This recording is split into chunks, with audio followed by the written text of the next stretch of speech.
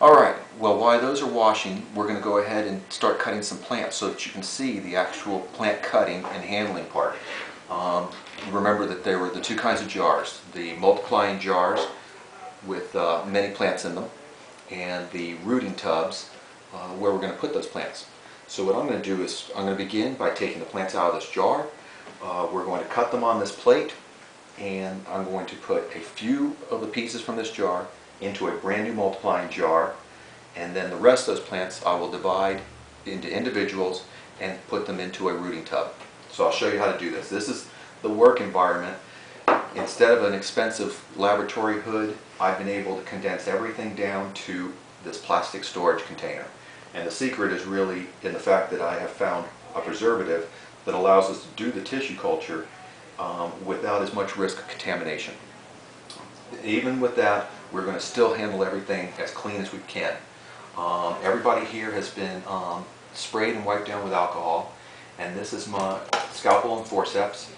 Uh, I'm using a vessel over here to hold those, and I'm going to go ahead and add, again, rubbing alcohol to these, so I have a dip, and I'm going to go ahead and spray them.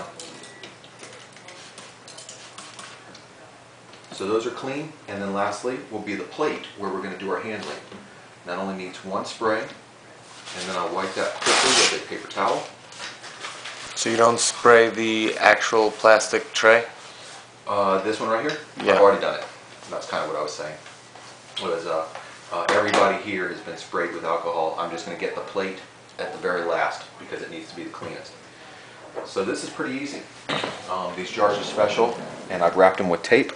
So I'm gonna open that up and watch this. With one hand, I'm gonna open the jar.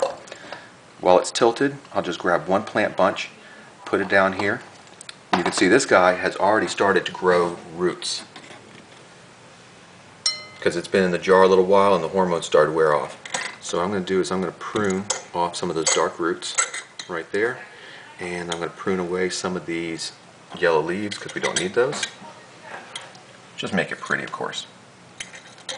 These have been living in my car since December, so your plants will look much better. But the important part is, let's start dividing plants.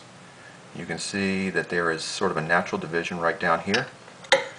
And I'm just going to split that and tear it apart. There we go. Now that's a plant piece that's so large, I'm going to have to save that to go into the rooting tub. So I'm going to put it over there.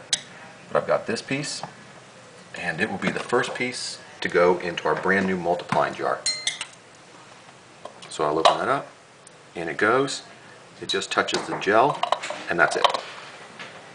Your vote is